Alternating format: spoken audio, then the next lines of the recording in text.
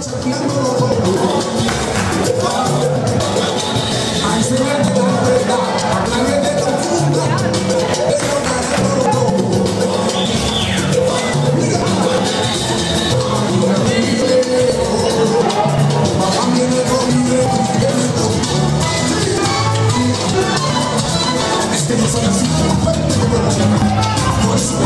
tiempo, de hecho tengo